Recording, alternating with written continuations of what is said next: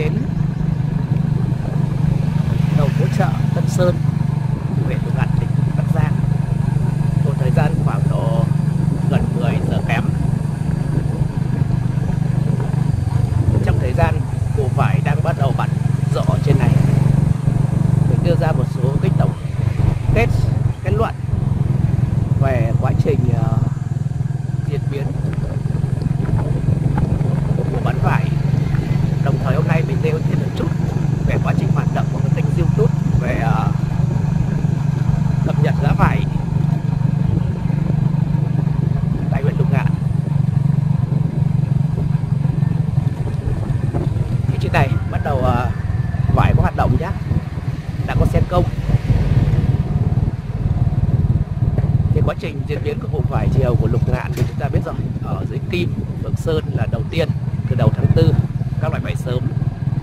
Thì lên dần đến thị trấn Trũng. Thị trấn Trũng bây giờ đang rộ diễn biến của vải thị trấn Trũng bây giờ là Thanh Hà và vải thiều đang sang, đang xen giao thoa với nhau. Thanh Hà đang là cuối vụ vải thiều bắt đầu bắt đầu gọi là nhộn nhịp vậy đầu cũng khá lâu rồi. Thì mình đi từ dưới thị trấn chủ, đi lên à, Hồng Giang, thì hôm nay có một điểm chung, đó là tất cả các cửa cân cân cũng như người bán hôm nay đều rất vắng vẻ cho nên anh em bán vải rất là dễ thì thị trấn Trũng hôm nay rất là vắng Hồng Giang cũng vắng các bạn ạ và năm nay cái khu gọi là phố à, khu gọi là làng lường của Hồng Giang từ năm những năm 12, 11, 12 rất là đông đúc thì năm nay một thời gian vừa rồi nó vắng thì năm nay tự dưng cũng khá đông có điểm cân khá đông. Từ ngã ba đi vào làng chính của Hậu Giang cũng có một số điểm cân. Đi làng ngọt cũng có một số điểm cân nhỏ. Và từ làng chính đến làng ngọt cũng như từ dưới ngã ba Tét theo quốc lộ 290 hoặc mình còn gọi là đường 30 tháng 4 thì rất nhiều các uh, lò sấy nhé rất nhiều lò sấy.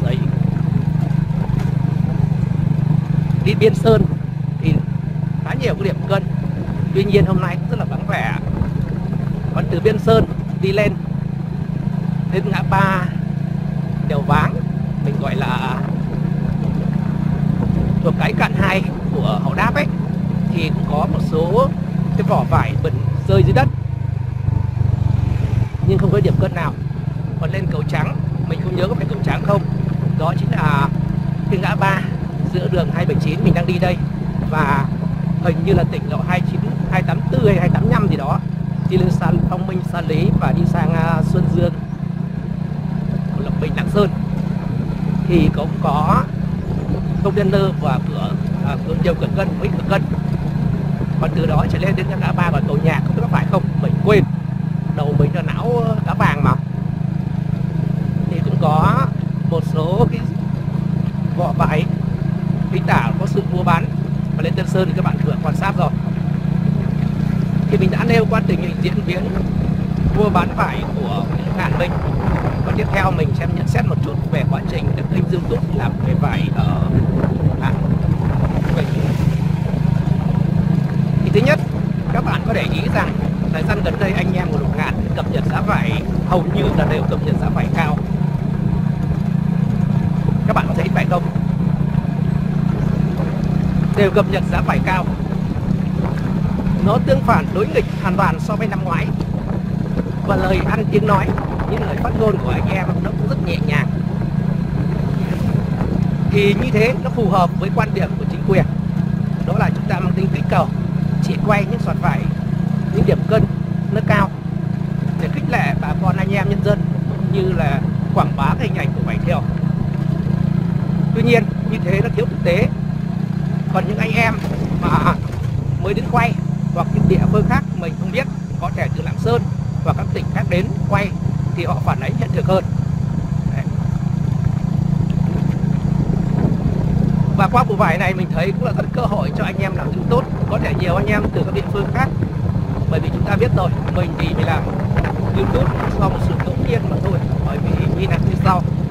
Mình là người thường xuyên ghi chép lại tất cả những nhận tín hoạt động mình. Vào sách vở, thì từ khi năm 18 nhà mình có wifi, mình dùng điện thoại thông minh thì mình quay lại. Tất cả hoạt động của mình, cho nên mình không có ý làm siêu tốt mà chỉ là nhật ký hoặc hình ảnh một cách rõ ràng, chính xác. Tuy nhiên, từ khi YouTube hình thành từ năm 2005 sau họ Google mua,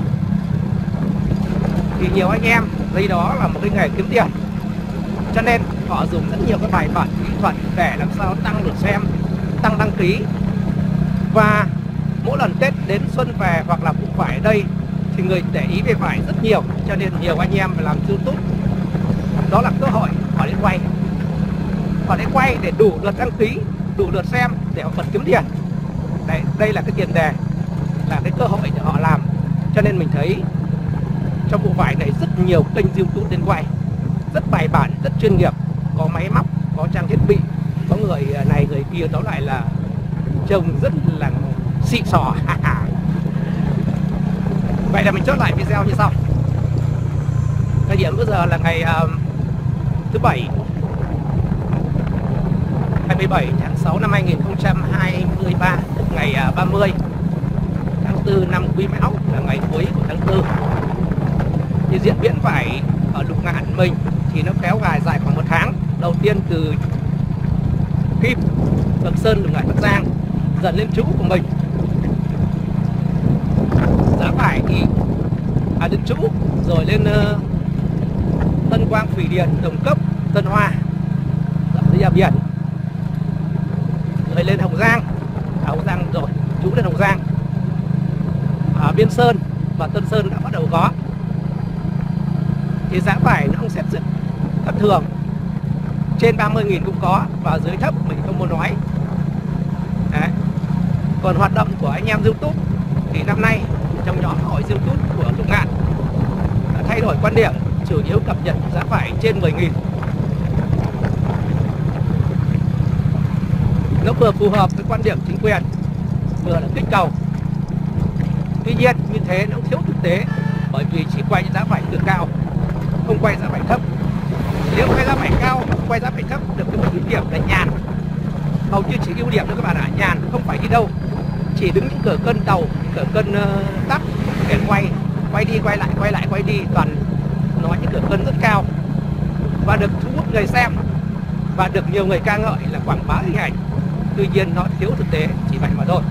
Còn những anh em ở địa phương khác đến quay ví dụ lạng sơn và các tỉnh khác đến thì họ quay thực tế hơn.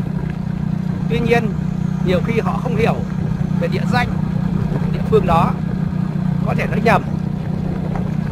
Và đây là cơ hội để anh em làm youtube chúng ta à, tăng lượt xem lượt đăng ký để phát triển kênh của mình.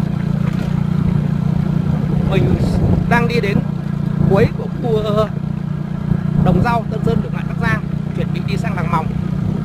Thì mình nói sơ qua về quá trình uh, diễn biến của vụ vải ở Lục Ngạn Bắc Giang cũng như hoạt động của các kênh YouTube việc cập nhật giá vải.